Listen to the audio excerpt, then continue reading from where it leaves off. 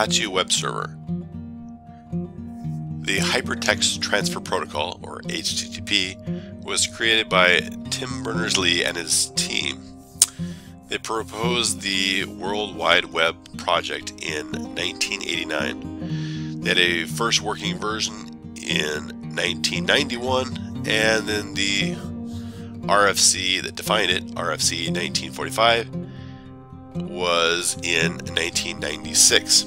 However, by the time many web browsers were already out there and people were using the web, there are multiple RFCs, including 2616, which is for the HTTP 1.1 protocol. The HTTPS protocol, or the Hypertext Transfer Protocol Secure, layers the HTTP protocol on top of the SSL and then now TLS protocol. So SSL 3 is the same thing as TLS 1, so basically it's just kind of transferring over to the newer ones. So you want to make sure you have TLS, not SSL. It was created by Netscape Communications in 1994 for the Netscape browser. So the Netscape Navigator browser and used and everyone else are using it. It created an industry for signing digital certificates. So many companies were able to make money off of this, including the uh, Ubuntu project was funded by Mark Shuttleworth, who made his money off of this as well. HTTP security concerns. There are some, some concerns you should think about. Um, all communication over HTTP is plain text and easily sniffed or wiretapped. People can read it. They can also inject their own stuff into it. Some ISPs are starting to inject ads or JavaScript into your sessions and break things, and that's always nice. Gotta gotta know who your ISPs are. Web servers and web browsers cannot prevent programmers from making mistakes or malicious users from exploiting these mistakes, so you have to keep that in mind. The HTTPS protocol also has some security concerns. There are various SSL and TLS protocols with different levels of security, so you need to keep that in mind. If you get a browser that allows you to have keys of size zero, that's not so good. Um, you just need to make sure you know what your browser allows, and if you're running a server, know what your server is serving. Certificate authorities are sometimes exploited and used for further exploitation, so you need to be aware of that. And then government agencies such as the NSA have promoted protocols with secret vulnerabilities, such as random number generators that don't produce random numbers. Some useful packages include the HTTPD package, which provides the Apache web server. You have Lynx, which is a text-based web browser for testing things if you are not running on a on a GUI environment. Uh, sometimes you want to test things from the server, and Lynx is pretty good for that. Also, OpenSSL, which allows you to make certificates. You can also sign your own certificates. Um, you can get the um, certificate signing request. You can then use and send to a third party who will sign them for you.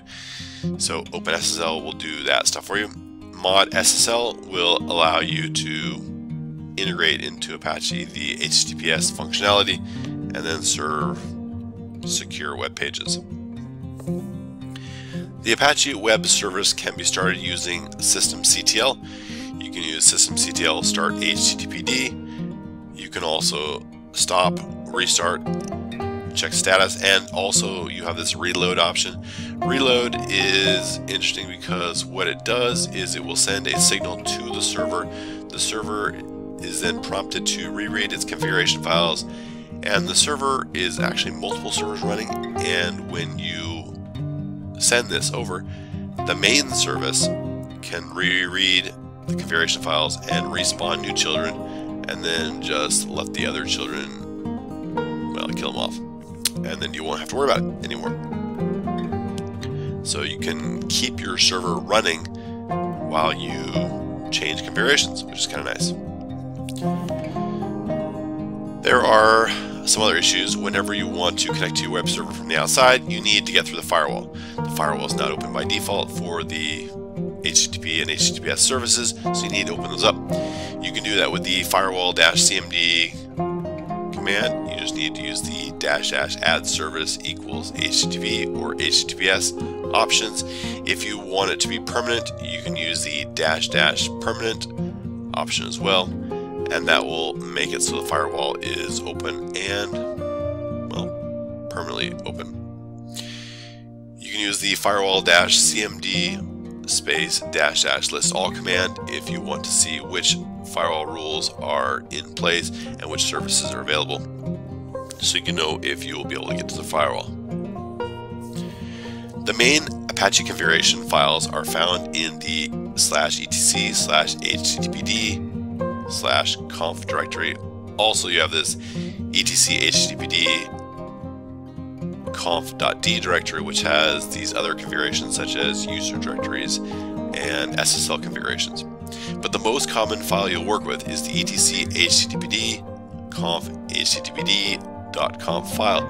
This httpd.conf file is the main file and there is a directive in that file that loads all the other files in the conf.d directory.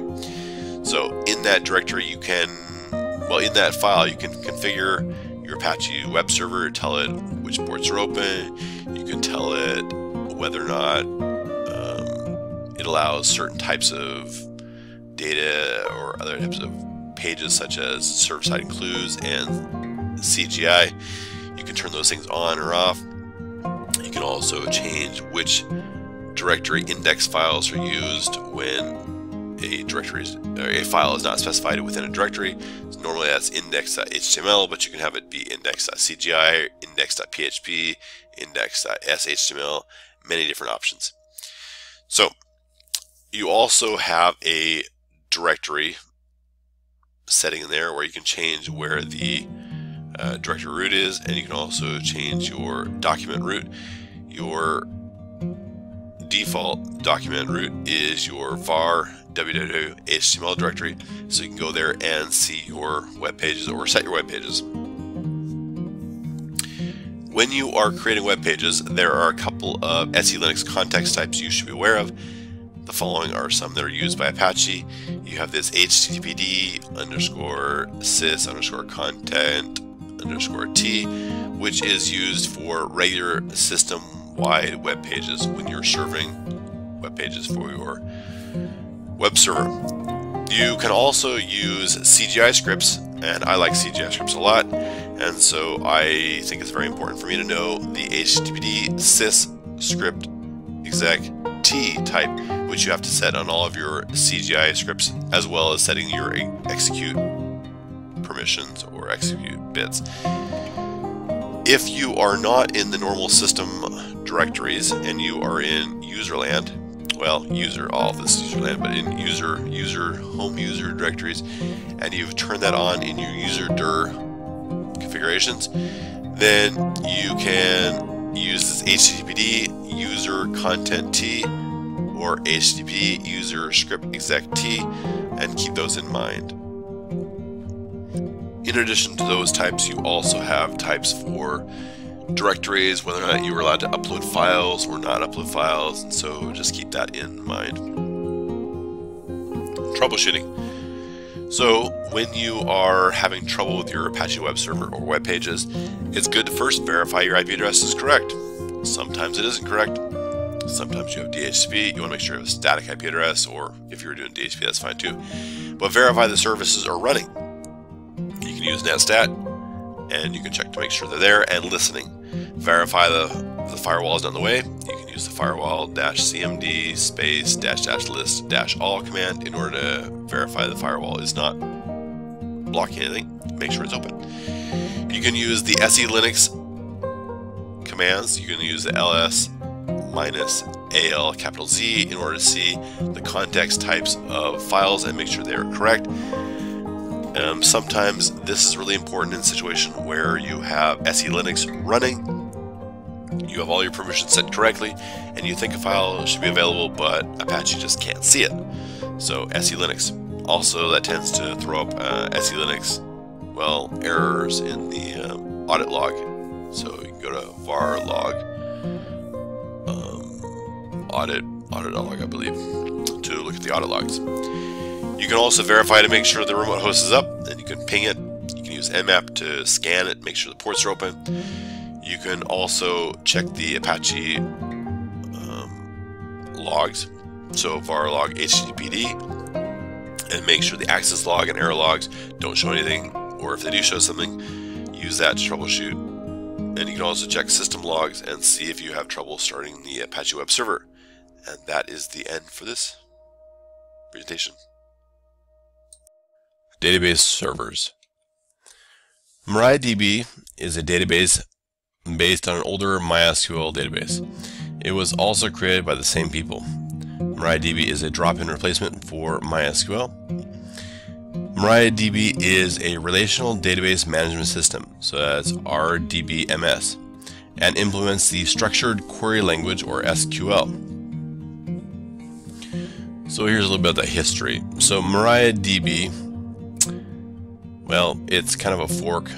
Um, first, MySQL was created and replaced Oracle in many projects, especially in open source. Oracle is not was not very happy with this, and it wanted to do something to solve the problem. So there was a time when MySQL was not financially able to continue on, and so that became an issue. So Oracle was trying to get rid of MySQL and it acquired multiple companies that provided libraries to MySQL. And that was a bit of an issue. Eventually, Sun Microsystems acquired MySQL, did the whole White Knight thing, and saved it from Oracle takeover. However, a little bit later, Oracle discovered that they could grab MySQL, Java, and other things all at once, and they bought Sun Microsystems. Eventually, the developers of MySQL decided to fork the MySQL code and they formed MariaDB. The current versions of CentOS use MariaDB as the database. There are a couple of MariaDB security concerns. First of all, the default MariaDB installation does not have a root password, so you can create users, database tables, all without setting up a password. Also, this might not be a, uh, a major concern, security concern, but administrators can reset the root password for the databases and get full access if they want to. It might actually be a helpful thing if you lose access to your database and you can't get back into it. The root user can then help you get back into it. There are many useful packages.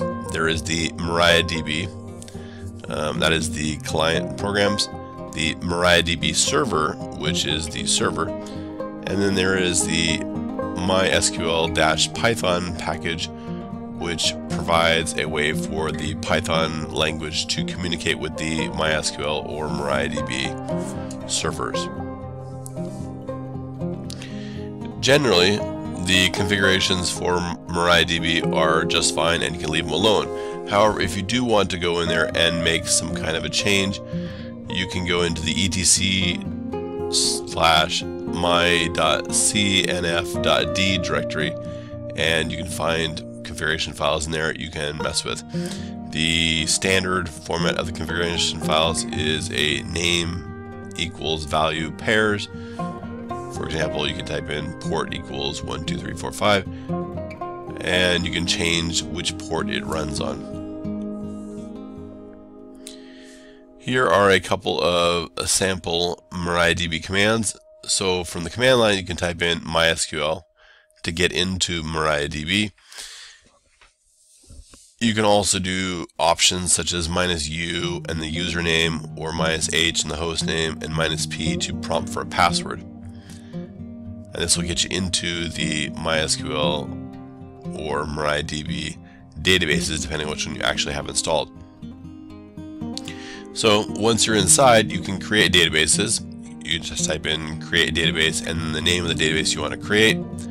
And then to actually use that database, you use the word use and the database name, and it will change your prompt and indicate that you are now inside of that database. Once you're inside the database, you can create tables. So here's an example, create table people, which gives it two columns. You have name and age. Name is a primary key and it is a varchar 250 and age is an integer.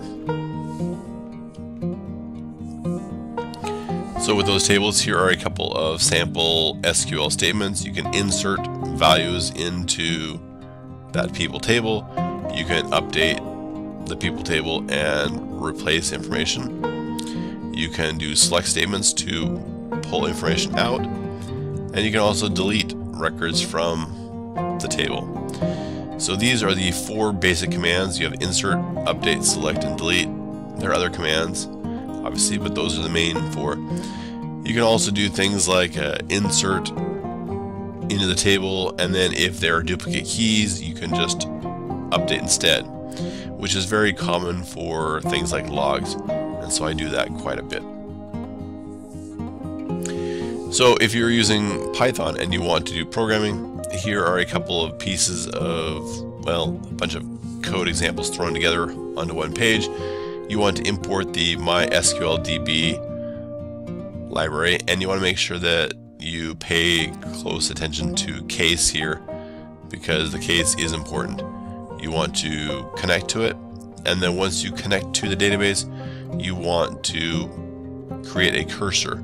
A cursor is where you send your commands so you just send your commands, you can execute the SQL statements and after you're executing the after you've executed the statements you can sometimes grab back data if you make changes, so inserts and deletes, sometimes you want to commit that, and that is committed not with the cursor, but with the actual connection.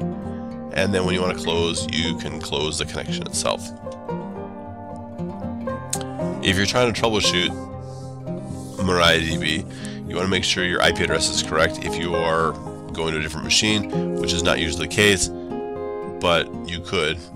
Um, you want to make sure the services are running if it's not running, it's very difficult to connect to the database. You want to verify the firewall is not in the way if you are going over something.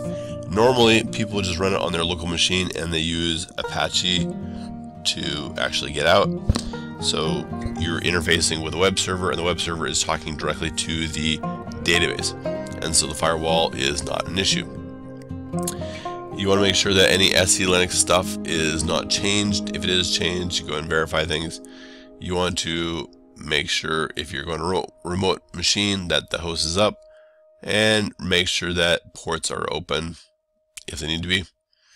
And if there are any problems and you can't figure it out, just take a look at the logs. Most of these things only matter if you are using a remote machine, which is very unlikely.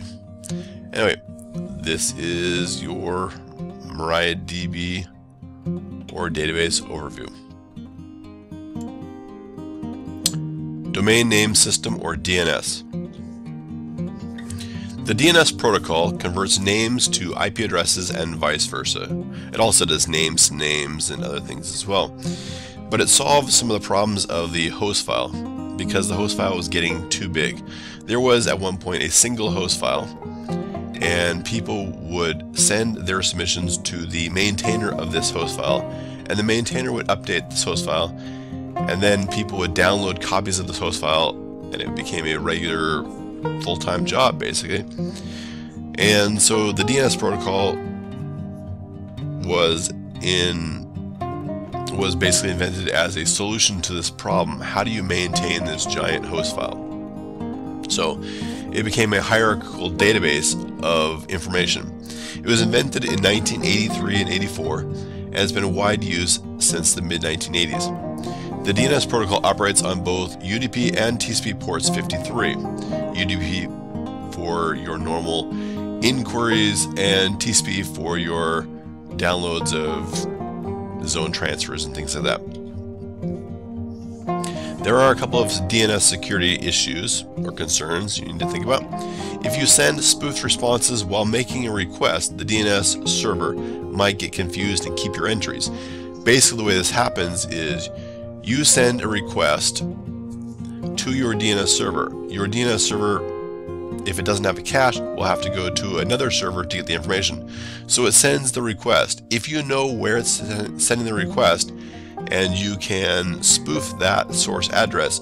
You can send a reply as if it were coming back from the server that it requested from. And if you do it fast enough, your reply will get there before the actual reply from the server it's requesting it from, and then it will get loaded in the cache of your DNS server and cause it to have incorrect data. The next concern is that alternative DNS roots can't redirect all of your traffic. So it's a hierarchy, and it starts from the root servers, which delegate to servers that manage the top level domains, and those delegate to individual servers that manage domain names and things like that. If you modify the DNS root, you can redirect all the traffic somewhere else. So some countries have done, done this, and such as uh, China did this for a little bit, might still be doing it. Other countries have done this where they have created their own root servers and redirect everything. In addition to redirecting traffic from the root servers, you can also do DNS manipulation by ISPs. Your ISP controls all of your traffic. They can manipulate manipulate your traffic. So if you send a request out to a DNS server and your ISP decides to modify the DNS query or response, they can do that. Also, there is registrar-based DNS manipulation because the registrars are where the individual um, domain owners well have their data stored and those could redirect and point different places you can also uh, trick uh, registrars into transferring names over to you, and it can be all kinds of a mess. So on Linux, we tend to use the BinD DNS server. Um, usually you'll hear about it being BinD, uh, bind, or named. Anyway, there are a couple of things to think about. Um, all host names end in a trailing dot normally when you see a host name, you don't put a trailing dot on it, but the DNS server knows it has a trailing dot and it puts it there. Um, so you need to be aware of that because bind treats it like it should be there. Host names and IP addresses in DNS are written with the largest grouping on the right and the smallest on the left. What does that mean? Well, if you look at a name like example.com, com is a much larger grouping and so it's on the right hand side. Example would be on the left hand side because it's smaller. So the larger it is, the further to the right. But if you think about IP addresses, something like 10.11.12.13, and you say, well, which one's the largest grouping? Well, the 10 is the largest. So it's on the left hand side. But that's not where the DNS wants to put it. It wants to put it on the right hand side. So if you were to write out your 10.11.12.13 in a DNS type format, it would actually be 13.12.11.10 and then it'd, it'd have a uh, dot in addr. So keep that in mind. Also, some types of records have a single value and some have more than one value. MX records have a priority and a value. So an MX record will take a name, usually a domain name, and then it will give you a priority and it will also give you a host name of a machine you can talk to if you want to send your mail. In addition to that, there's things like the SOA records and other records that have multiple different pieces in them. Some of the useful packages in installing Bind well, you have bind and you have bind dash utils. Bind dash utils is really good. It provides all those really important tools like NS lookup and dig, which are good for, well, doing DNS queries. You want those. When you are configuring your bind server or named the main configuration file is in the etc directory etcnamed.conf. So you go in there, you modify that file. Sometimes it's etc named then named.conf, but you find the file there, you modify that file, and that file lists all of the data that you need to know about. So where is the data stored? Well, the data is normally stored in the var named directory. So you have the var named d data, which would be all of the zones that you control. And then you have var named slaves for all the zones that are acting as secondary or slave zones. And those would be zones you get from somebody else. Now there is a big push for renaming things. And so while it is var named slaves right now, you'll probably find that words like master and slave will start to disappear because they have a negative connotation. So just be aware that the name might change to something like secondary or something else. What does the named.conf file look like? Well, you have different zones in there. There's lots of data in it, but you have these little entries for your individual zones. So that top one right there is for the domain.ext. So you could have a example.com zone, and then inside of it you have well, information about that zone. This one, because we own it and we control it, we have the type as master. And then you list the file. Where's the file? Where the file is going to be called domain.ext.zone. And where would you find that? Well, you're probably going to find it in the var named maybe data directory, but you have to look at the rest of the configuration file to figure out where things are actually stored. Alright, if you look at the IP addresses, let's say we were doing something for the 10 dot range. We want to do the entire 10 dot range all in one file, which is quite a bit actually. So you might do zone 10 dot in dash addr dot arpa. That would be the zone that you'd be doing. And you'd have it be a master because you are controlling it and configuring it. And then the file type would be, or the file name would be something like your IP address dot zone. Now the file names don't have to match the the backwards orientation or anything like that. So you could just put 10.0.0.0.zone. It doesn't even need to add an end in the word zone, but some editors treat different files differently depending on the extension. So that's something to keep in mind. So you have forward zones and reverse zones. A forward zone is a zone that uses names as its lookup. Reverse zone is something that goes from IP addresses back to names. So forward zones have multiple different types of records in them. So here's an example forward zone with, well, a bunch of things, a bunch of variables and some of that. But we can see the very top line right there is a dollar sign, then TTL 3H, which basically means your time to live for each of your entries is three hours. That's the default time, but it can be overridden and changed. And then you can see the at sign. The at sign means for the entire zone. So at in ns dns.domain.ext dot. You see that trailing dot? That's important. So basically what this is is a record for this zone and this zone is defined as whatever's in the named.conf file. It's saying that the name server for this zone is dns.domain.ext. Well, you're going to need to make sure you have this dns.domain.ext defined somewhere. So we're assuming this is the domain.ext file, and you can see at the very bottom line there is a DNS in A, and then you put the IP address there.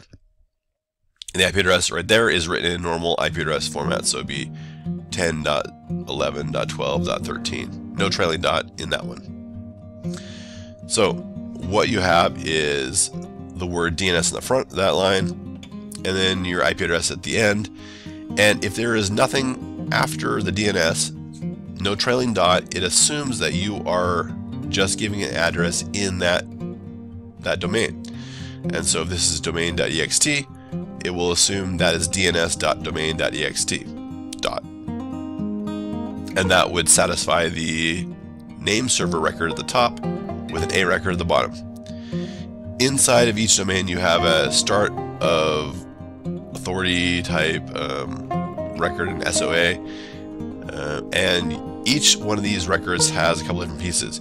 You can see the domain that it's doing everything for is the domain.ext, and then you have this root.domain.ext. Well, what is that? That's actually an email address.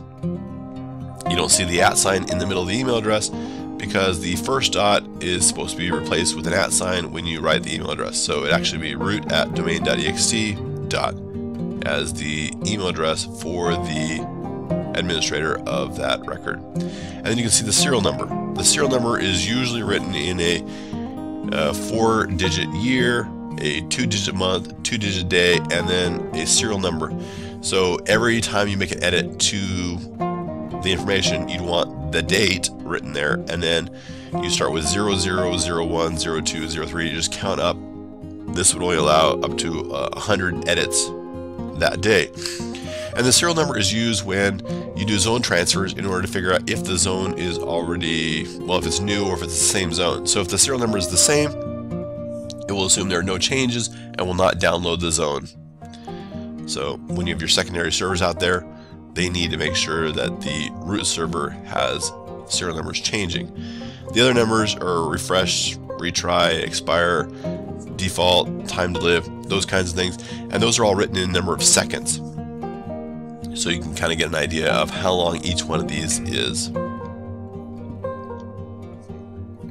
Some of the different types of records include your A records, your quad A or AAAA, you have your MX records, you have your CNAME records, your TXT records, there's all kinds of records. So you can see a couple of different examples here. The A records are for, um, for taking a name and converting it to an IP version 4 address.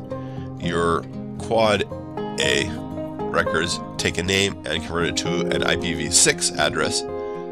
Your MX record is a record that takes a name and converts it into a priority and a name and that is for your mail exchange. So if this were for the um, domain.ext or example.com, if you wanted to send an email to um, that domain, you need to figure out where your mail server is. And so that MX record right there indicates that you would go to the mail in the domain server. So maybe mail.domain.ext and you can see the record right above it is an A record that tells you the IP address of that. Then you have a couple of CNAME records. CNAMEs are aliases, and CNAME stands for canonical name. So you can see that POP and IMAP both map to mail, and you can see mail maps to an IP address. And then you can see under the mail, in addition to having an A record, mail also has a TXT record, and the TXT record has what is called an SPF, and this is used to indicate which machines are allowed to send mail for that domain. So if you received mail for something, and this would probably actually be in the app, but if you receive mail for a given domain, you'd want to know who is authorized to send mail. So you can do a lookup using the SPF information in a TXT record and figure out which IP addresses are allowed to send mail, and this indicates that the 10 dot entire 10 dot network is allowed to send mail, but nothing else. So all other ones are not allowed. You also have reverse zones. So the top part of reverse zone looks the same. You can see it jumps down to this origin thing. So origin to specify individual pieces. This is doing the 192.168.0 range and you can see the 192.168.0.0 is that second to the bottom line where it is in 0 in PTR for pointer network.domain.ext dot.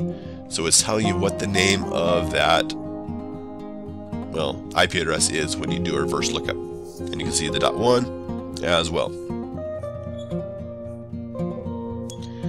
The named service needs to be started in order to start listening. You can use the systemctl command to start this, the named server. You just type in systemctl start named.service. You can leave the .service off if you want. Other options you have is the start, stop, restart, status. And then if you want to make sure it starts at boot time, you can use enable. And then if you want to remove that, you can use the disable to remove that so it won't start at boot time. In order to make DNS available, to really make it available, the DNS server needs to be able to receive data through the firewall. You need both UDP and TCP 53. 53 is only necessary if you're doing zone transfers, but normally DNS servers should be able to do zone transfers. so you want to indicate who can do zone transfers. So you can add the services or the service um, for the server with the command firewall cmd space dash dash add dash service equals DNS and that will add in the service so that DNS can get through the firewall. If you want it to be permanent, you can do that same exact command with the dash dash permanent option and then it will put it into the configuration file so the next time the, the firewall starts up it will add that rule in there. You can verify whether the services are present in the firewall currently with the firewall-cmd space dash dash list dash all command and that will indicate whether or not it is in the firewall. When you're troubleshooting, make sure the DNS server is set. And you can go look at the etcresolve.conf file and you'll see which DNS server you have set, which is kind of important. You can make sure you want to make sure you can talk to your DNS server in normal ways. You can use NS lookup, you can use ping, all kinds of things to make sure you can talk to it. Make sure the record is download okay. You can use NS lookup or dig. You can do uh, a DNS hierarchy trace. So if you do a dig minus uh, plus trace command on something, it will start from the root servers and work its way down. You can figure out if you are in the DNS hierarchy. If you're not, then it's not likely anybody else will use you can make sure your firewall is correct. You can make sure logs look good.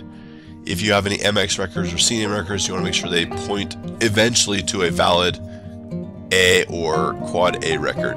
So CNAMEs can point to other CNAMEs and MXs can point to CNAMEs, or they can both point to A or quad A records. But eventually, if you keep resolving it, it should get to a quad A record. You want to verify the service is running, so you can use netstat, to make sure it's running and you want to make sure that any SE Linux contexts are not strange. So you can go look in the var named directory and see if anything looks like it doesn't have named in it. It might not work properly. And that is it for DNS. So good luck. Dynamic Host Configuration Protocol, or DHCP. So the DHCP protocol operates on UDP ports 68 and 67. DHCP is based on a series of messages. You have a discovery message, an offer, request, and acknowledgments.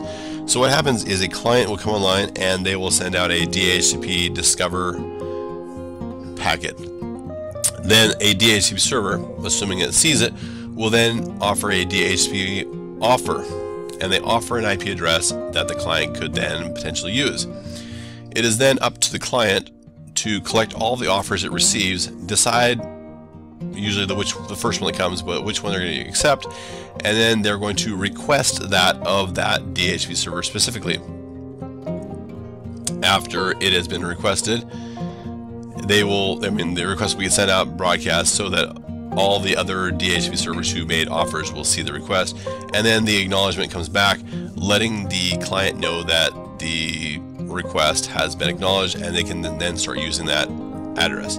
In addition to that, they will get a, a lease, so they get a certain amount of time they can use this address, at the end of which they will have to renew, well actually somewhere in the middle they will renew their lease, but at the end of which they would lose the address. So some security issues with DHCP. If you have rogue DHCP servers, they can give out addresses and that can be a problem. It could mean security issues. It could mean um, someone's giving you something incorrect. Sometimes you'll have someone plug a wireless access point, some kind of a uh, home router, in your network backwards, and it'll start issuing out addresses. You can block that on the the switch, but you know if it's not blocked, they can cause all kinds of havoc. Um, Clients can spoof MAC addresses to gain additional access. So if you want to get access and you know that a specific IP address gets it or a certain MAC address gets it through the firewall, you can spoof addresses. And this isn't really a DHCP problem so much as an issue with MAC addresses and security and everything there.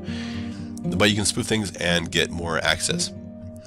Um, clients can also obtain multiple IP addresses by presenting multiple MAC addresses. So if you have a client that is trying to create a denial of service type situation, they could present a whole bunch of different MAC addresses, get a whole bunch of different IP addresses, and then lock them all up so they're not available to anybody else. Some of the useful packages. The most useful package here is the DHCP package, which includes the DHCP server, uh, which is DHCPD. There are other ones that are there. You have a DHCP libs and DHCP common, which are used basically in order to get DHCP in the client to run. So the directories that are interesting, there is the etc DHCP directory, which contains all of your DHCPD configuration files. You can look in there and see what's there. You have your network configuration, and those are in the etc sysconfig network scripts directory. All of them start with the ifcfg, and then it's usually dash eth0 or ens32 or something else. So you have to go look and see what what interfaces you have, um, and then you can go configure those. If you're running as a DHCP server, you can see the varlib dhcpd dhcpd.leases file, which will contain all of the leases you've given out. You might note that there are multiple copies of the same lease that's there because sometimes a client will request something more than once. It might go down, come back up again before the lease is expired, and it might get a new renewed lease. Anyway, that leases file keeps track of all your leases for you. And then there is the var log messages file, which contains all kinds of information, such as all of your your discoveries and offers, and all those things can show up in your var log messages file.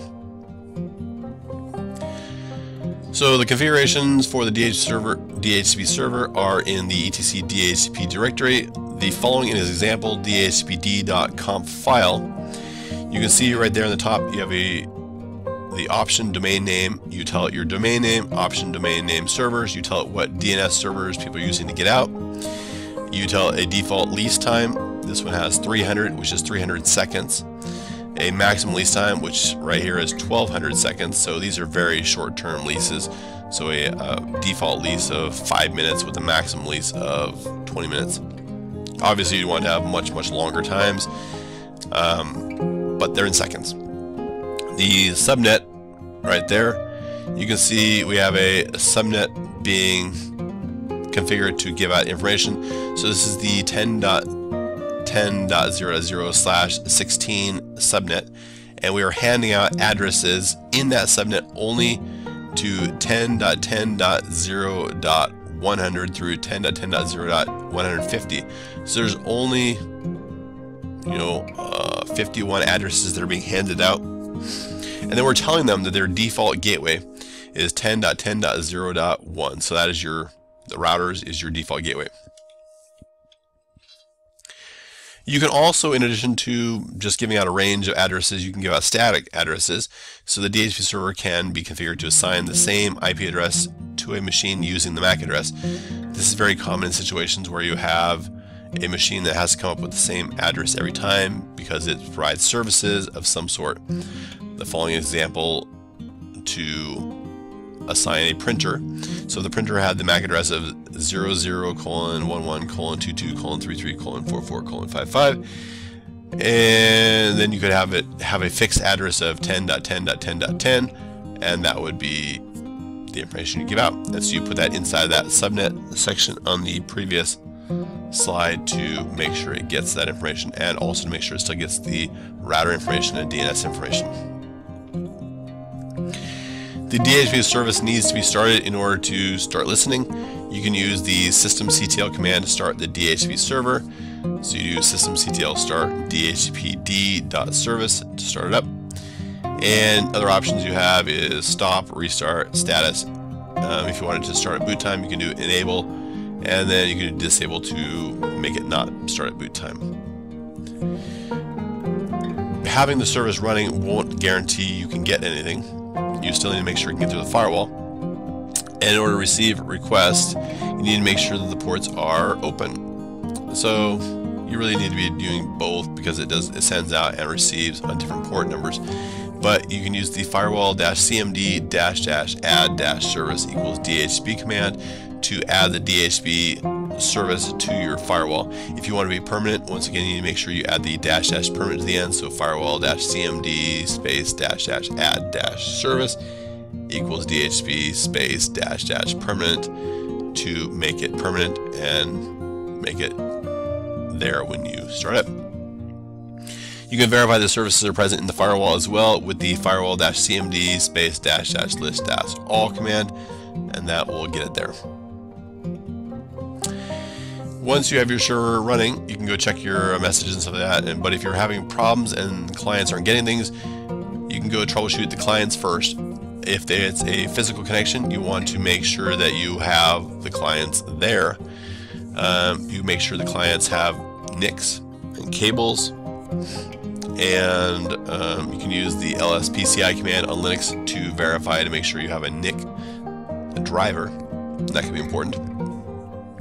You can verify the server address is static, so your DHCP server must have a static address, otherwise it will not work properly. It doesn't work off a DHCP, so don't try. it. And you want to verify the firewall allows connections, so you can look at that, verify or look at the logs to see if there's anything in there check the leases to see if it really is giving out leases or you know if they're being handed out um, if you are setting up a network you can actually have your configuration have multiple different um, subnet sections. And then if you have multiple subnet sections you might be servicing different subnets based on information being forwarded. So you want to verify the routers forward the request. If they need to do that, you want to verify the spanning tree is not a problem. Sometimes spanning tree is configured so that a machine booting up will be assumed to be a switch, in which case it will block everything until it is determined that the machine is not a switch, and then will allow communication through. So you want to make sure the spanning tree is not blocking anything. And you want to make sure that the switches are allowing you to answer, so your machine needs to be connected to an interface that is allowed to send out your, your DHCP offers. So you can receive the discoveries, but you can't make an offer unless, well, you can make an offer, but your offer won't get out unless the interface is allowing you to get out. And so you want to make sure that the switches are not blocking you from making offers. And that is the end of this section. So good luck. Linux installation.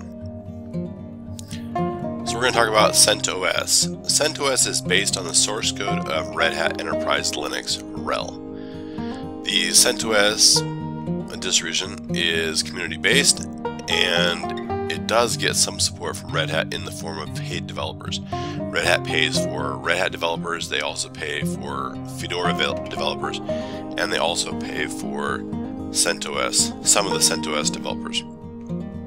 So where does it fit in in the distribution families? There are a couple of different major sources of, well, Linux distributions. You've got the source code based Linux distributions. That would include things like Slackware, which is one of the oldest. You have Gentoo and Arch, and even Android's kind of a, a source code based Linux distribution. Then you have the whole Red Hat family.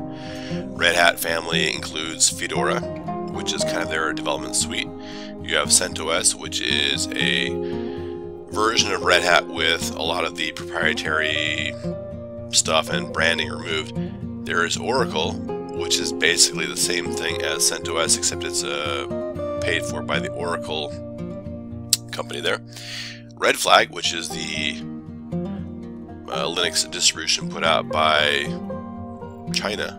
And then there's also things like OpenSUSE. So these are all in the Red Hat family. So they all have a they all have a lot of similarities. They all have the same Red Hat package management system. So you can identify them that way. Then there is the Debian family. The Debian family would include the well Debian, but you also have Ubuntu and Mint. Um, basically, you have Debian, and some people thought, well, it's kind of complex, so let's make it a little better. And so then you have Ubuntu which based off that, then they decided, well, that's a little bit too complex, so they added a little bit more. They gave some more proprietary drivers. You got Mint, and then you have other distributions such as Kali, which is your penetration testing distribution, which also is based off of the Debian family, probably based off of Ubuntu most directly. All right, when you're doing an installation, the first thing that you come across is you have the Anaconda installer. So Anaconda is just the name of the installer. But Red Hat based Linux distributions such as CentOS Linux use Anaconda as the installer. So you'll find that a lots of these distributions have an installation wizard that looks the same. That's Anaconda. Anaconda is an installer written in Python. It's got some C parts as well, but it is responsible for making sure the operating system is correctly applied to the machine, put in place. You have the bootloaders and everything else in place, and it boots up. Anaconda works great some of the time. Sometimes it fails. It fails, well, a lot more than the actual Linux distribution will fail when it's running. So you got to be careful with that. Sometimes you have to start over, but that's usually okay. When you're in Anaconda, you have to configure networking. You need to make sure you configure a host name for the machine. Every machine should have its own host name. Don't stay with localhost. Make sure you have a host name. You want to make sure the machine has either DHCP or static manual addresses configured. You can go in there and configure it up make sure you have it set. If you do DHCP, you have to make sure that you have a DHCP server in the network it's going to be residing in. If it is not doing DHCP, then you need to make sure you configure all the important parts of static or manual address configuration. You need an IP address, you need a mask, you need to have a gateway, and you need to have a DNS server. Also, after you configure the networking, you want to make sure you activate the interface so that it will come up when you start. You want to make sure you configure the date and time. Well, it's not really date and time you configure, it's more setting the time zone. That's kind of the important thing. You want to make sure the time zone is set, and it's best to set your time zone after you've already configured networking. So it'll automatically decide that you have networking and it will use network time. Network time provides the NTP protocol, or the network time protocol, to allow it to synchronize with time servers and get updates automatically. Normally it saves the time on your machine as UTC time, basically the Greenwich Mean Time or Zulu time. Windows, on the other hand, stores it as local time, so what's written to the hardware might be different for Windows and Linux, and that can cause problems sometimes if you have a dual boot machine or a machine that uses both operating systems. Software selection. You want to make sure you select which software needs to be installed. So when you're starting, the easiest thing to do is to select the GNOME desktop. GNOME desktop will give you all the essentials, and get you a GUI, so you can have this clicking ability the ability to do, well, easier things. However, Linux was designed mostly to be run without a GUI. Um, GUIs have been built afterwards, and they're they're nice and they can be very pretty but you don't really want to go if you're running a server. So in a production environment, you want to start with a minimal install and just add the features you need and not have everything else because there are security issues if you have too much. Any software you missed during the installation can be added after as long as it's not something like network drivers because you need the network.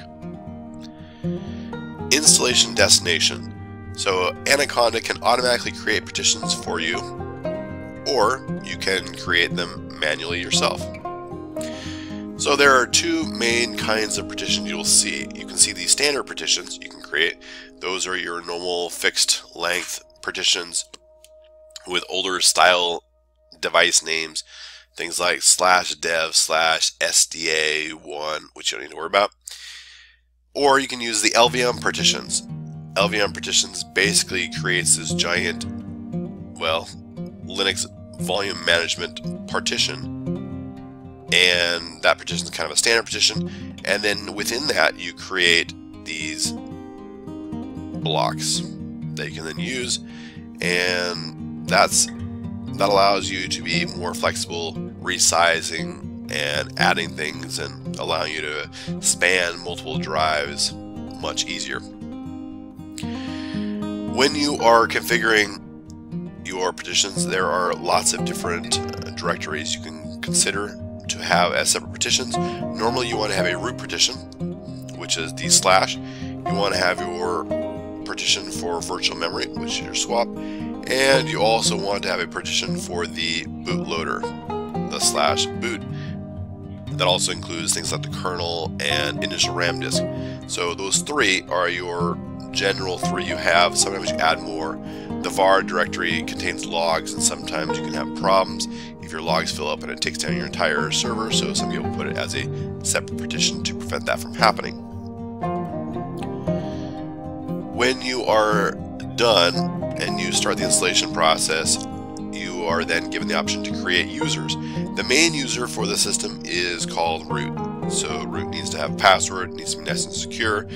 The root user has all power as far as the users go on the system and can do many, many damaging, destructive things.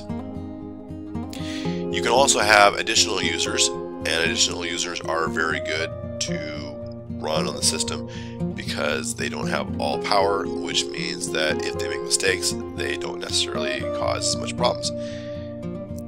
These users could also be administrative users. So what happens is if you click the checkbox to make it an administrative user, it will add the user to the wheel group. So there are groups, and the wheel group allows members to run commands as root using the sudo command. So you type the sudo space name of the command. It will then usually prompt you for the user's password, and then after that they can run the commands as root. When you are done with the installation, sometimes you see a license agreement portion. If you're doing minimal install, you don't necessarily see it. Sometimes you do. But you need to be aware that Linux comes with a license like any other operating system. It comes with a license. And most of the stuff most of the packages you get on Linux are distributed under a free software or open source license. Free software licenses require all derivative works be distributed with a similar license. So if you have access to modify it, then this derivative license means that anybody else, when you redistribute it, has the same rights you received so you have to provide those same rights. Open source licenses allow you to see and modify the code, and that's basically what they do. Now, free software licenses are a special type of open source license, slightly more restrictive, but it makes for more security of the source code in the long run. Once you have your system up and going, you should probably update it. Most Linux installation disks are not absolutely new, and there are updates that, well, need to be applied. So the first thing you should consider doing is updating your updating system. Updating software, so you can type in yum update yum. Yum is your updater, so you want to update yum first. Now after that, something you need to keep in mind is that there might be updates that include, well, packages with libraries, that are part of your GUI. And you do not want to update your GUI from within from within your GUI, so you want to make sure you get out of it.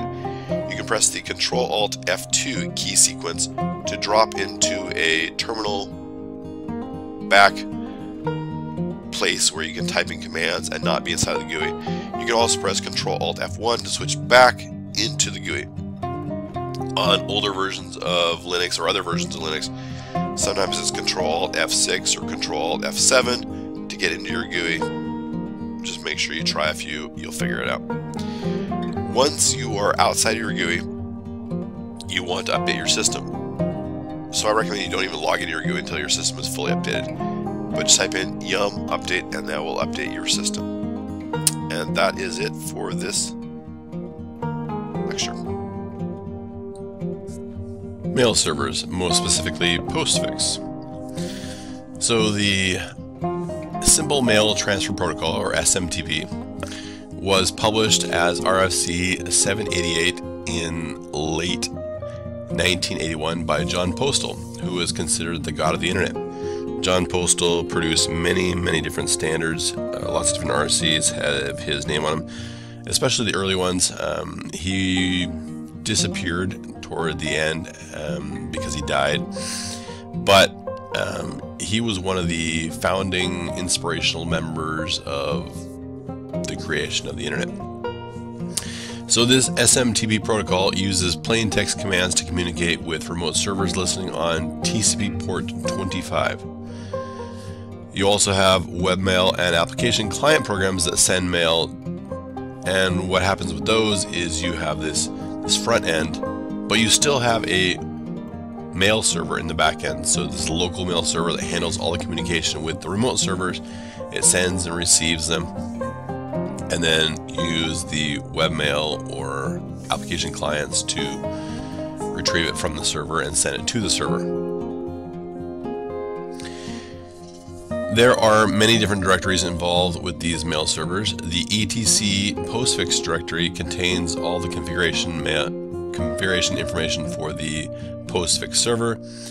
You have the var spool mail directory, and that one contains all the email that has been received and processed and put into users files. So there's, there's an mbox style file. Basically just lists all the email messages one after another in one long text file. So you can go there and grab the mail messages for each of the users.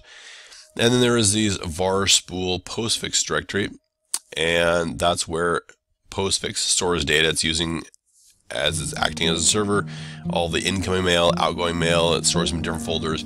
There are lots of things in the protocol, um, such as the ability to retry sending mail when the server's down and other things like that. And so it has to maintain and hold things that are still on their outbound direction. Also inbound as it's processing and looking at things. The var log mail log uh, file is a log that can be used to troubleshoot email related problems. All kinds of things show up in there about the mail server and mail messages coming in and out. There are some SMTP security concerns. First of all, plain text messages can be viewed in transit. So if you are sending or receiving mail, anybody along the way between the source and the destination could look at the mail and read it. Now, that doesn't mean you can't encrypt your message inside of your mail, but the header data would still be unencrypted. So, if you keep that in mind, all of the messages are plain text. If the message itself is encrypted, that doesn't mean the headers are encrypted. Anyone can send unsolicited messages at a very low cost, so spam is very cheap. You can send all kinds of mail um, you can claim to be anybody you want. There are a lot of different changes in how mail servers are handling this. And so they can look at things and say, well, you're claiming to be from one server, but you're actually sending it from a different server, and then they can mark you as spam. And there are other things they can do to try to filter things out.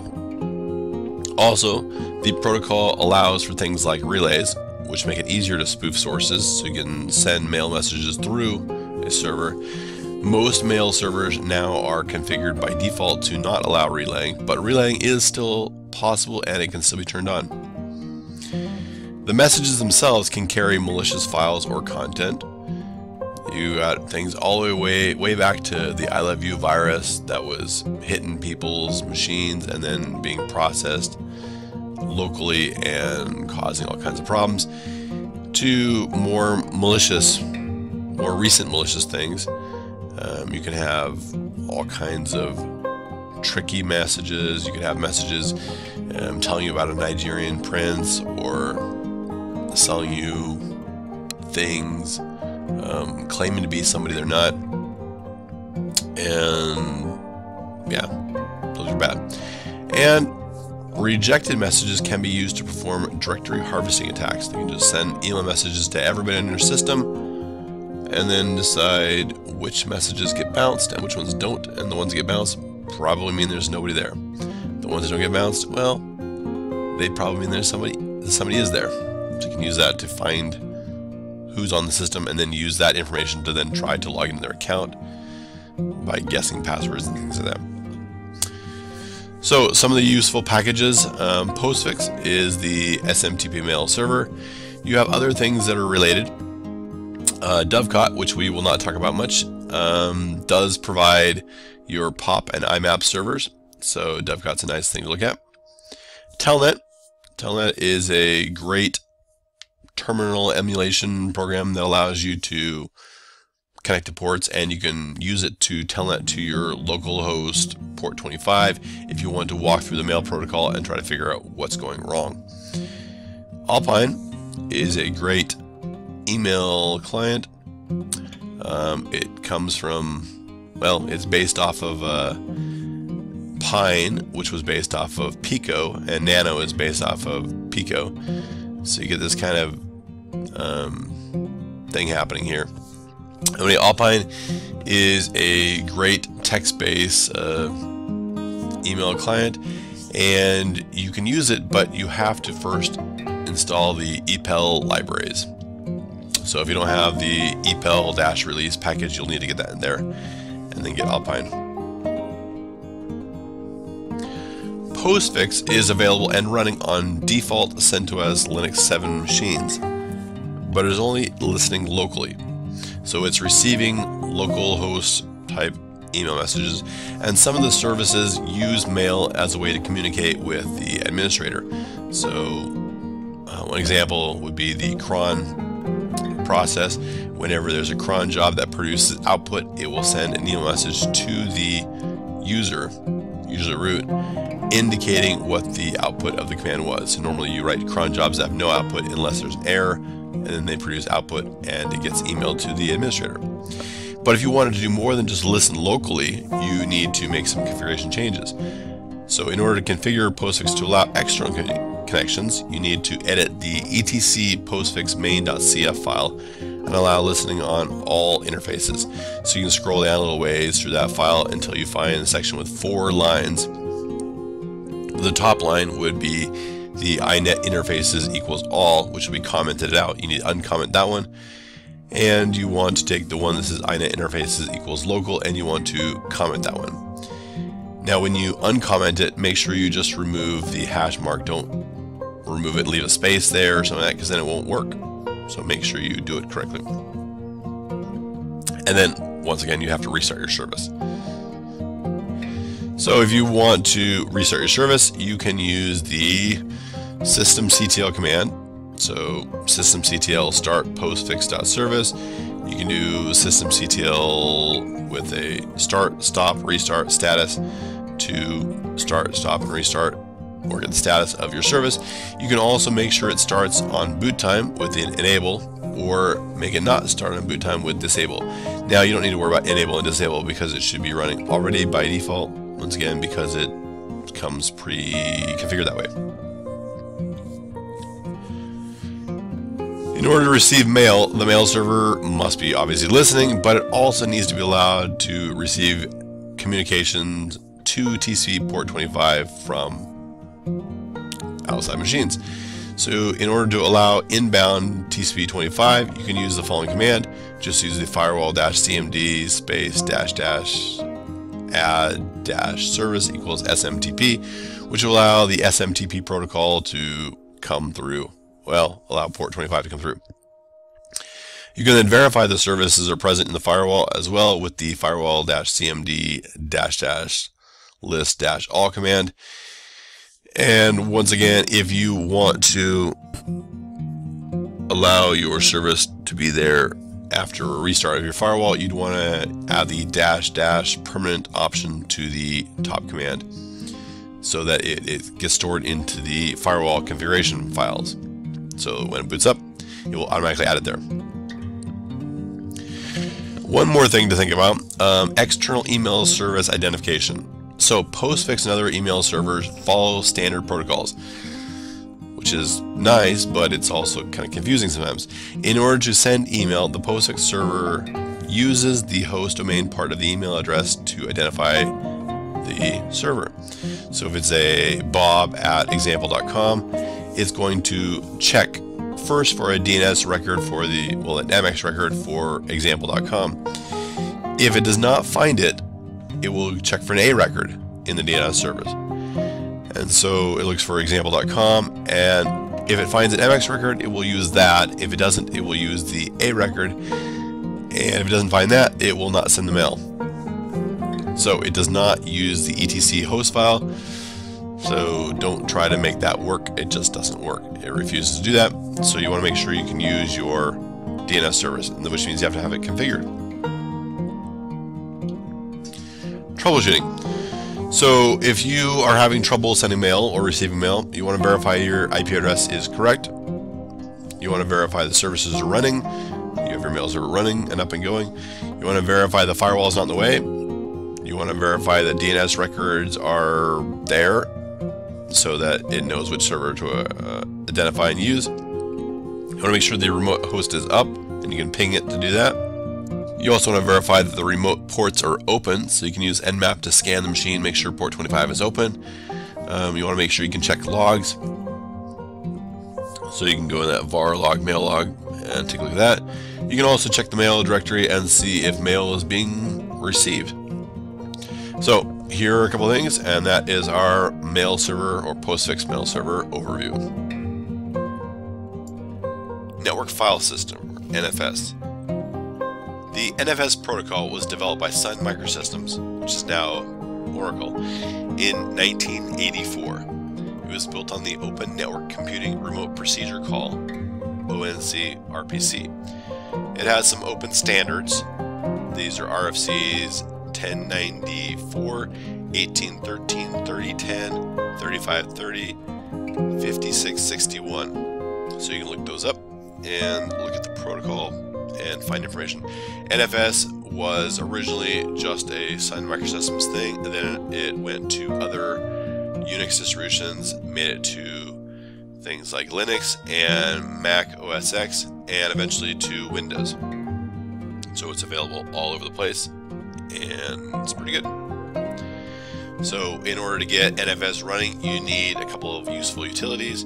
Uh, NFS-utils is a package you can install which provides NFS. You also probably want to have man pages.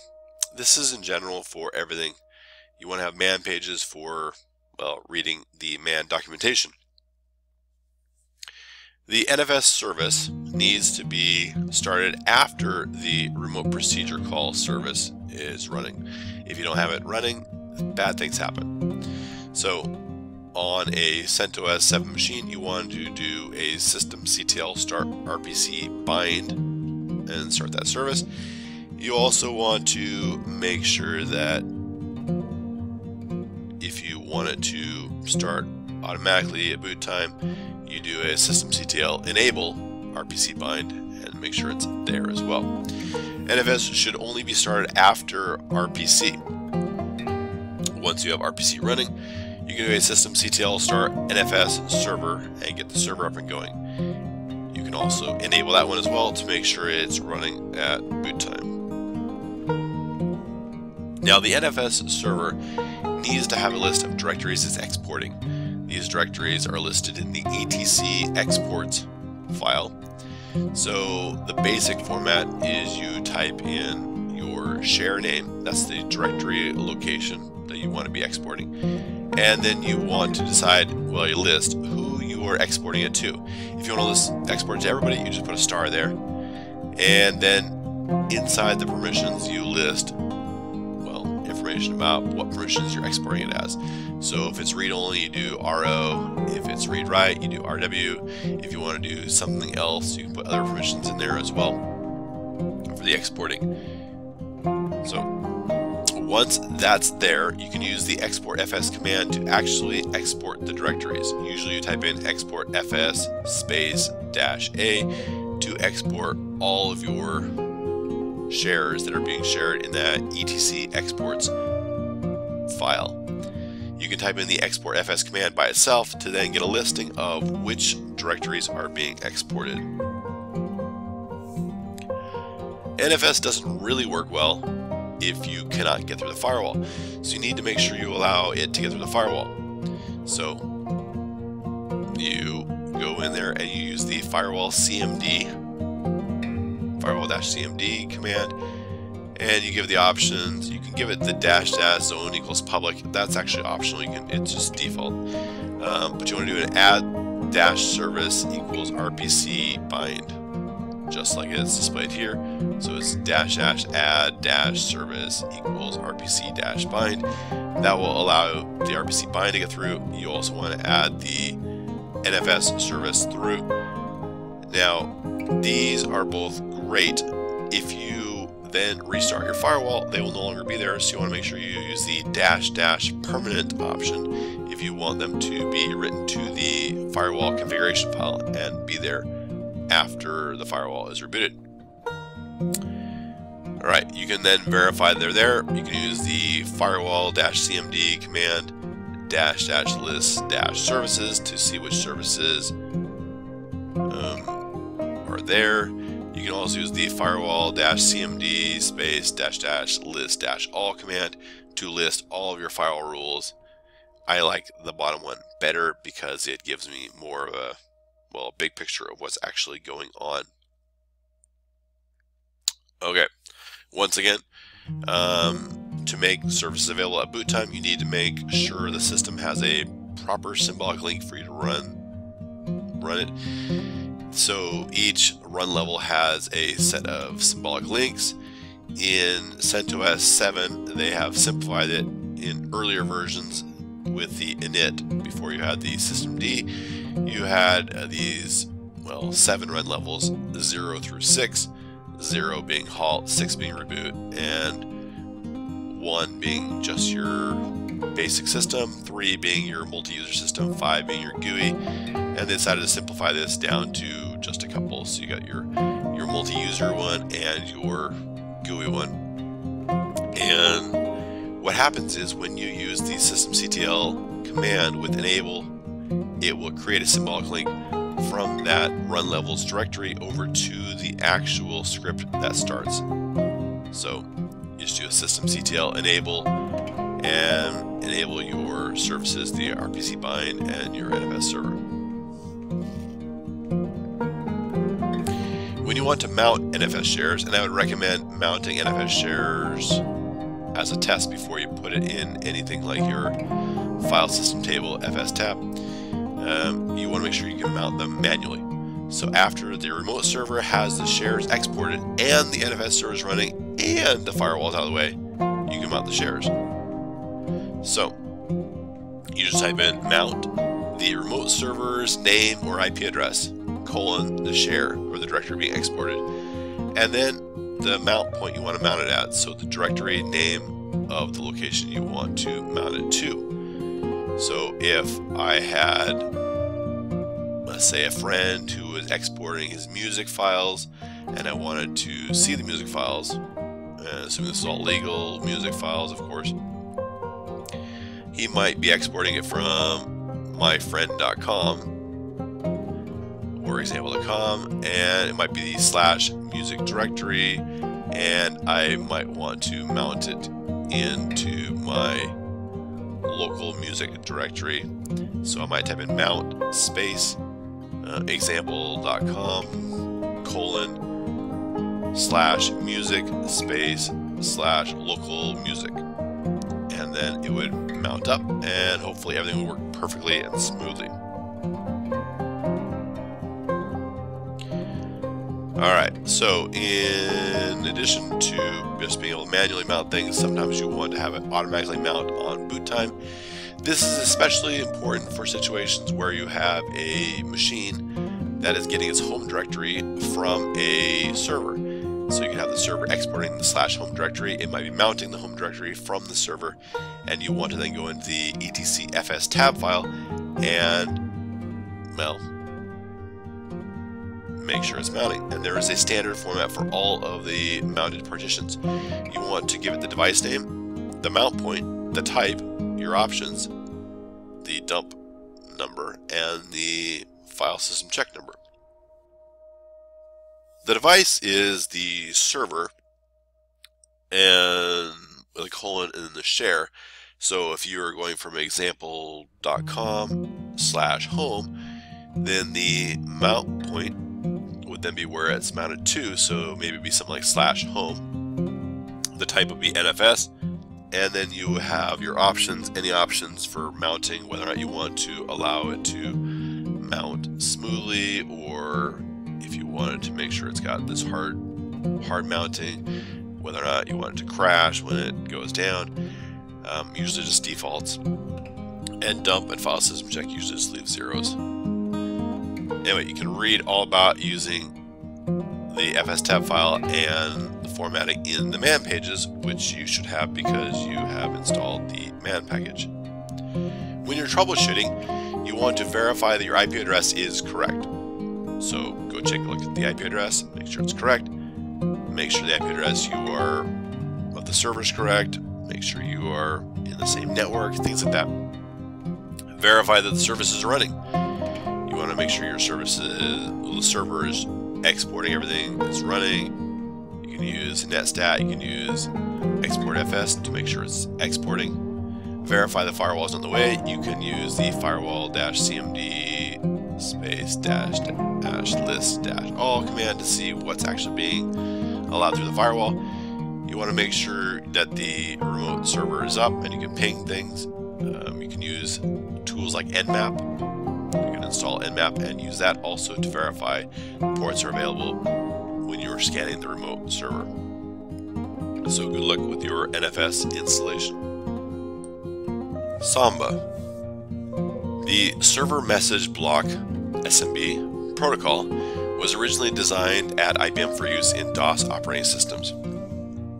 Microsoft started working with it in 1990 and has incorporated it in Windows since Windows 3.1.1, which was Windows for workgroups. The Samba package implements SMB and uses it for communication with Windows devices. The SMB protocol has many security concerns. The SMB protocol has received many security updates since Windows Vista. However, it is known to be a security risk because of older older implementations and even some newer bugs.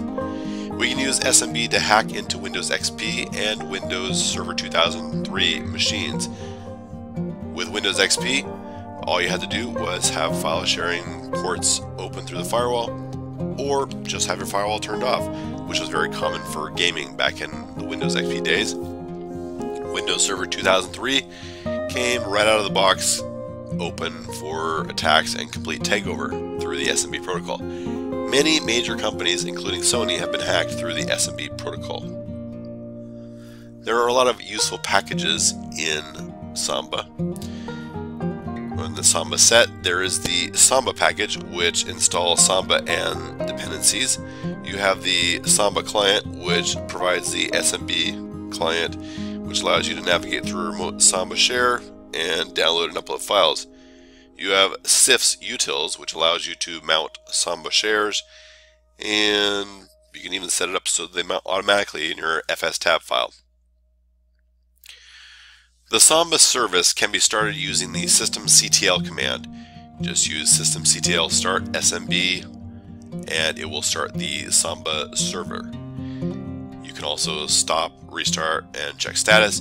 If you wanted to start at boot time, you just use the systemctl enable smb.service to enable it. In order to allow other machines outside of your individual server to mount your Samba shares, you need to open up a hole in the firewall. So the easiest way to do that is to add the Samba service. So you can use the firewall-cmd command. You can add the zone if you want. Then dash dash add dash service equals Samba. Can verify the service is present in the firewall using multiple commands. My favorite being the bottom right there, which was or is firewall dash cmd space dash dash list dash all which will list all of the services that are available through the firewall. When you want to configure Samba, the main configuration files are found in the etc Samba directory. The most important of those configuration files is the smb.conf. You might be able to find a file like smb.conf.example and you might want to copy that over the smb.conf file before you start editing and then you can go in and set all kinds of configuration settings because they'll be available and easy to see. Here is an example of an excerpt of, well, part of the smb.conf file. We have a share called software, which is being exported. That share is based on the slash share slash software directory. So whatever files in that slash share share slash software directory are being exported. When that directory shows up on a remote machine, it will be called Windows Software Packages. It is public, so you can see it. It is writable, so it's read write, but it is not printable, so it's not a printer. So that's the information you see right there. When you want to share your Samba shares, you might have issues with SE Linux and their context. SE Linux is very good for protecting you from very bad mistakes you might make. But files shared using Samba should have the correct SE Linux context type of a Samba underscore share underscore T in order to be able to be viewable by the Samba service. To change the context of the file, you can use the chcon command, which is change context. So chcon minus T for the type, Samba underscore share underscore T, and then your file name or directory name, and it will change the context type so that the Samba service can see the file. If you're having trouble with Samba, it's good to verify the IP addresses are correct. You want to verify the services are running. You can use netstat to view that. You can verify the firewall is not in the way using the firewall-cmd space dash dash list dash all command to see which services are allowed through the firewall. You can verify the SE Linux context is set correctly. You can use this ls minus capital Z or ls minus al capital Z and that will tell you the context type of all the files in the directory or you can just do ls minus capital Z of the file to list its context type. If it's a directory you want to add a D in there so there's all kinds of things. You can verify the remote host is up using ping. You can verify remote ports are open using nmap from a remote machine. And you can also check the logs to see what's happening. And that is your overview for Samba. Secure Shell. The Secure Shell or SSH protocol was created in 1995 to prevent sniffing of Telnet and RLogin traffic at Helsinki University of Technology. SSH is encrypted, and Telnet and RLogin were both not encrypted and still aren't encrypted. So the SSH protocol uses the Diffie-Hellman key exchange for key generation that it then uses to symmetrically encrypt data. Many programs use SSH to create tunnels and transfer data securely. The SSH package is normally, or the packages are normally installed on a CentOS or other Linux system by default. However, if you want to install them or take a look at them, they are the OpenSSH server package, which provides the server, OpenSSH, which provides some of the tools, the OpenSSH clients, which provides clients, and then another useful package which is not actually SSH, but is closely tied to it is rsync. Rsync allows you to synchronize data on two ends, so a client and server can synchronize data over SSH. I can do it itself without SSH as well. When you're configuring SSH, there are a couple of configuration files. The main SSH configuration files are in the following two files. You have the etc ssh sshd underscore config, and the same thing without the d. The one with the d is for the server, and the regular one, the ssh underscore config, is for the client. Individuals can also have additional override type information for their clients in their .ssh directory, their home directory. So some common configuration changes you would see on the server end is disabling root logins, which is very important in situations where you're constantly being attacked by people trying to log in your system. If you don't want them to have the option of doing a brute force login, you can just disable root logins and then they have to log in as a different user and then switch over somehow using sudo or su. Um, you could change the port number. Sometimes people change it from 22 to something else and then they log in with that number. You can disable password authentication, which means you have to use keys to get in, which makes it more secure. This is very common. Um, Amazon Web Services does this by default. It makes it more secure and less likely to be hacked because once again you can't do the brute force logins.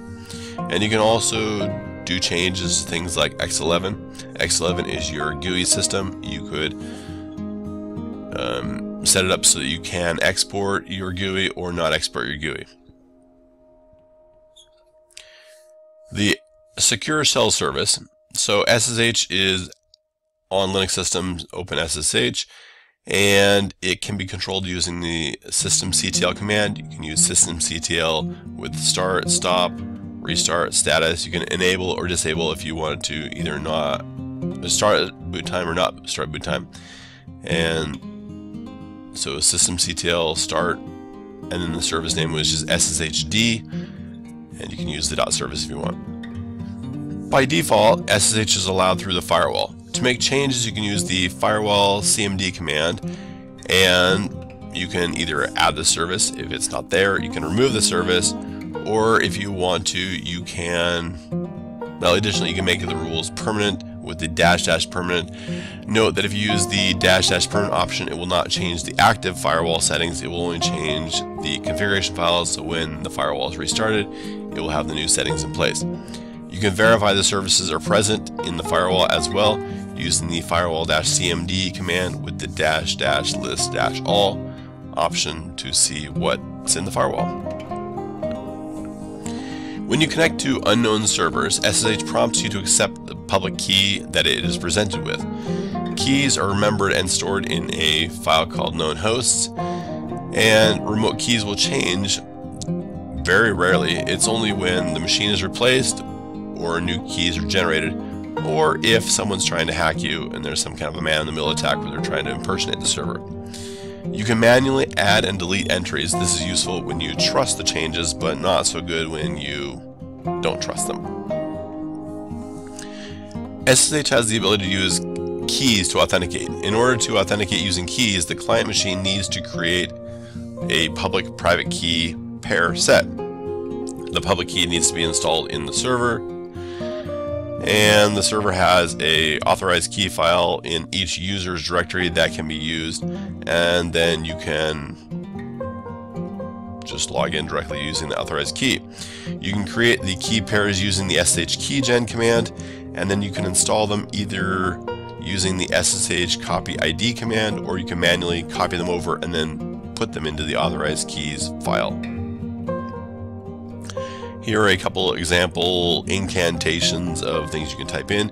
You can type in SSH keygen to generate keys. You can tell it what type with the minus T option. You can copy the key over, the public key over to the server using the SSH copy ID command. You can um, manually copy it using SCP, and once you get it copied over there, you need to log in into that machine and use the cat command or some other command to get it into the authorized keys file. If you want to, you can also tunnel. Here are a couple of exciting tunneling incantations. The tar command can create, well, archive files. And this command, basically the first command right there, um, you're creating an archive file and the destination of that file is actually the standard out. So that kind of works. And then what we're doing is we are piping this into the SSH command, which is then on the other end using the cat command and redirecting its standard in into a file. So what we're doing is creating a tar archive that is being put into a file on the remote machine. And you can look at the rest of these things. They are kind of uh, weird incantations, but it gives you an idea of some of the things that SSH can do. If you want to troubleshoot SSH, you want to make sure you, that you can connect to the machine. That's usually one of the biggest things. You could either have the address wrong or you could have the host name wrong. You want to make sure the service is running. If it's not running, then that can be a problem. You want to make sure the firewall is open and you can get through it. You want to make sure the remote host is up so you can ping it. You can use Nmap to scan it to make sure the SSH port is visible. And you can also be on the server and look at the logs to see if you're having trouble logging in. And this is a brief little overview of SSH. Simple Network Management Protocol, or SNMP. The SNMP protocol is commonly used to gather statistical information from networking devices. It can grab all kinds of information such as bandwidth consumption, um, ports, uh, whether they're on or off, names of machines, all this information can be gathered together and it's usually used to manage an entire network. Some variables gathered can also be set using the SNMP protocol tools. SNMP typically operates on UDP ports 161 and 162. 161 for normal communication and 162 for traps or indications when there is a problem. There is a management information base and well, this is for information. SNMP provides a lot of information. Each individual element of information can be addressed with a hierarchical dotted decimal number called an object identifier or OID. The object identifier for system name or host name is 1.3.6.1.2.1.5.1.5 and this has multiple different pieces in it and the very first one which would be the system name is dot zero so if you have more than one name, it might be a dot one and dot two, and it kind of increments up. To make things easier, the MIBs provide names for the numbers. You could get the same host name with that number above, or you can also use either system.sysname.0 or sysname.0. So those are a little bit simpler, easier to read and recognize and remember as well community strings. SNMP does not want to provide information to just anyone, so it requires a password called a community string. There are two default community strings. For read-only information collecting, you can use the default community string public. For read-write information collecting and setting, you can use the default community string private. SNMP uses the UDP protocol and the server ignores messages with the incorrect community string, so you do not know if datagrams were dropped or ignored. It's kind of confusing, makes it difficult. You send it out, you wait 10 seconds, nothing comes back, you say, well, it didn't work. But that could be because your community string is being ignored and there is no reply. Many network devices have active SNMP support the administrators are not aware of. It's very common for printers, for example, to have SNMP support turned on and running, and they might have both the public and the private community strings available. So you might be able to do all kinds of fun things with the printer, and the administrator wouldn't even know how you're getting in. Sometimes you have routers or wireless devices or cameras that all have SNMP support turned on and running. So you need to make sure you turn things off that should not have it running. Most SNMP messages are not secure. They send things in plain text, they come back in plain text. If you want to intercept something, you want to see what the community string is, just watch the line, see what it is. So, some useful packages. NetSNMP provides the SNMP server. NetSNMP Utils provides some utilities for performing queries and making changes. So you can do your SNMP get, SNMP set, your SNMP walk, all kinds of activities and, and utilities right there. When you're trying to configure the server, you need to go and edit the etc snmp snmp.d.conf file. One of the most common changes people make is change the community string. You'd want to probably make it not be public. So you find the line that says com2sec not config user default public and you can change the string to something else. For example, aloha123, which is also a super secure and secret password that no one will ever guess. The SNMPD service needs to be started in order to start listening. You need to use the systemctl command to start the SNMPD server.